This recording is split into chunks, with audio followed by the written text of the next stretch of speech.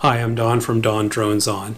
A few days ago, I put out a video entitled Study Guide to the new 2019 Canadian Drone Pilot Basic Operations Exam.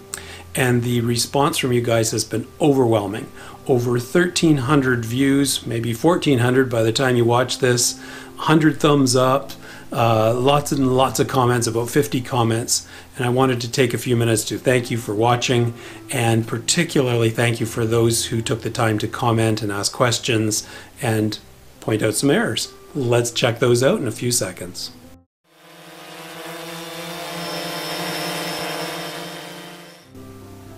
First of all, two viewers, Gary Foster and Darren Gallant, noticed and mentioned that I had made a mistake in the video um, around the 11 minute point where I'm talking about the maximum height you can fly over top of buildings and structures, I erroneously say that you can only fly up to 30 meters above the ground. In actual fact, and the way that the rules are written, it's 30 meters above the structure or the building. If you are within 21 meters measured horizontally uh, from, from the building.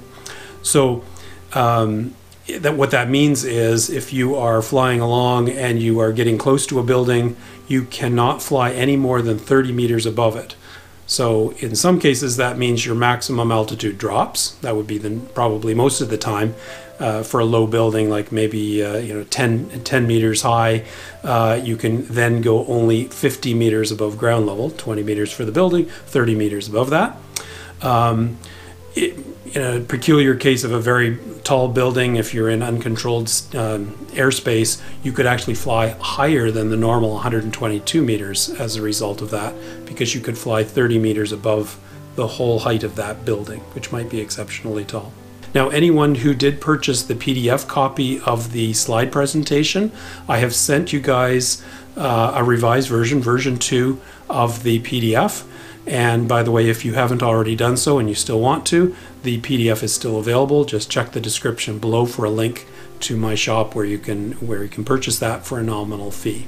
Another interesting comment was about my little mini rant about uh, understanding aviation frequencies and converting UTC um, uh, time zones to your local time. I thought those were ridiculous, but Brian C. pointed out, and thank you, Brian, for doing this, that in actual fact, those aren't that crazy, even for the basic operations folks like myself. Um, so on the UTC conversion, uh, time zone conversion issue, we are expected when before we launch as one of our pre-flight checks to check what's called the NOTAMs, the Notice to Airmen, which are available on the Nav Canada site.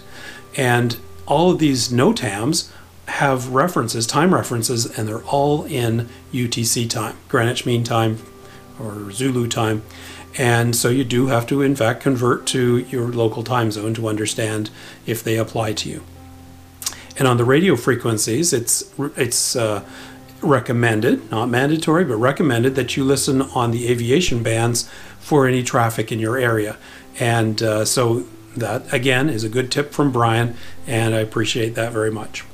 Another viewer named Ice Creamer uh, had a great question about moving around within the exam while you're actually doing the exam. Can you skip questions and then go back? Yes, you can. So I'd have to say Transport Canada did an, a really, really good job on the user interface within the exam. I might not like the questions, but I do like how you can move around. So at any point you can you see all the questions along the bottom of your screen and you can see the ones you've answered and not answered and you can get to the end and go back and change the, your answers to the wrong ones, which is probably what I did, um, and and that sort of thing. And it, I think it also shows you the time remaining on the screen, so that's a very handy thing as well. Well, that's all for now.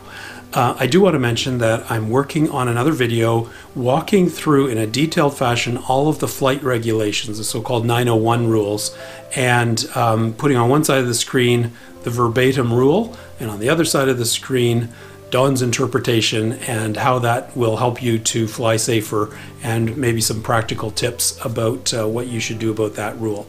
So watch for that coming up.